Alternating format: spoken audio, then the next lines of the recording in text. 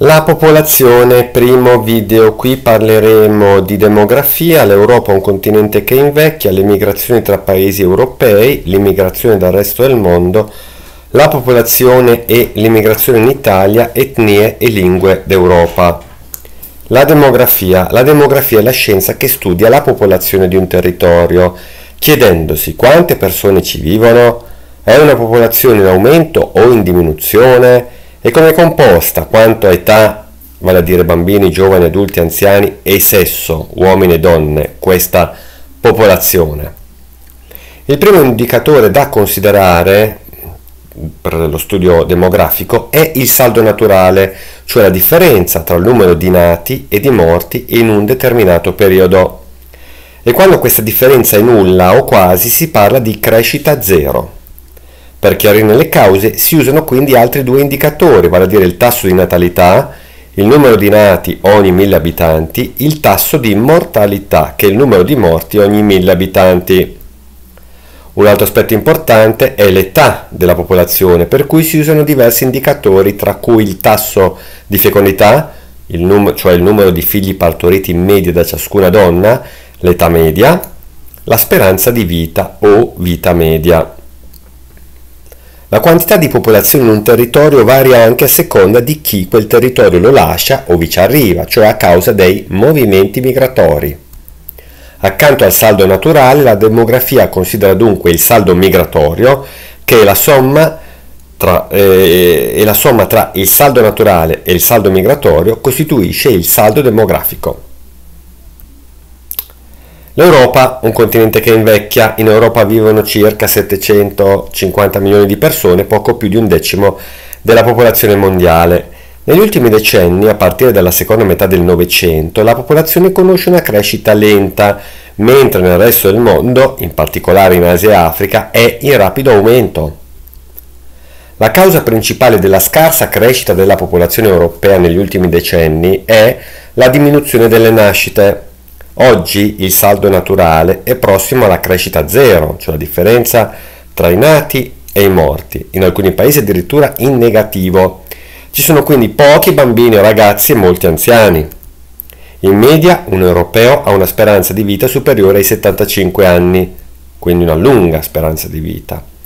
Parliamo di migrazioni tra paesi europei. Nella sua storia l'Europa è stata percorsa da numerose migrazioni, intere comunità si spostavano a causa di persecuzioni o guerre, invasioni e conquiste.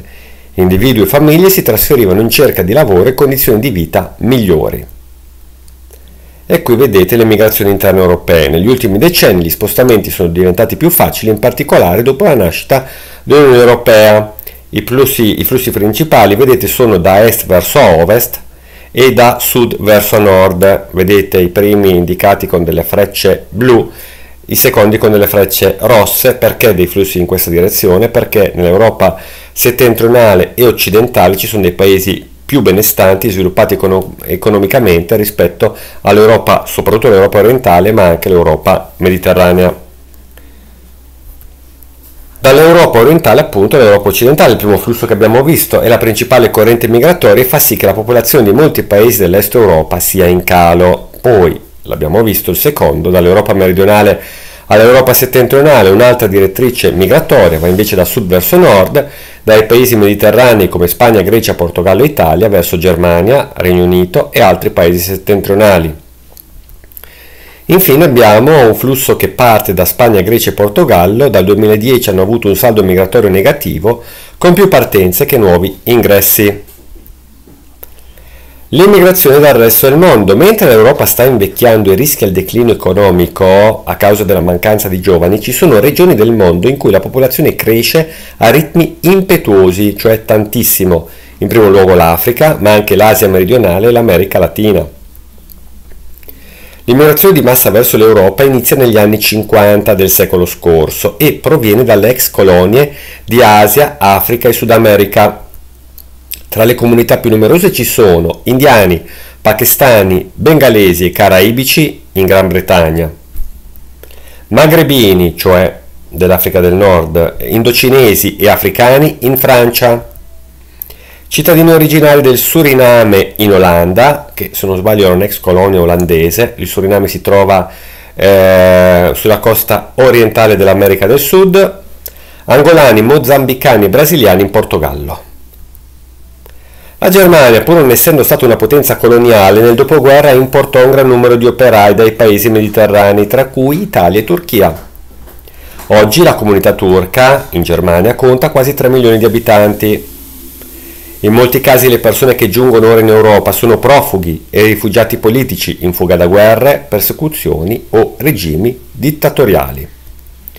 È il caso negli ultimi decenni di somali, iracheni, palestinesi, sudanesi, afghani. Infine la popolazione e l'immigrazione in Italia, i cittadini italiani che vivono nel nostro paese sono circa 55 milioni e mezzo e il loro numero negli ultimi decenni si è mantenuto stabile, con una diminuzione anzi negli ultimi anni. Questo andamento della popolazione è in gran parte dovuto allo scarso numero di nascite.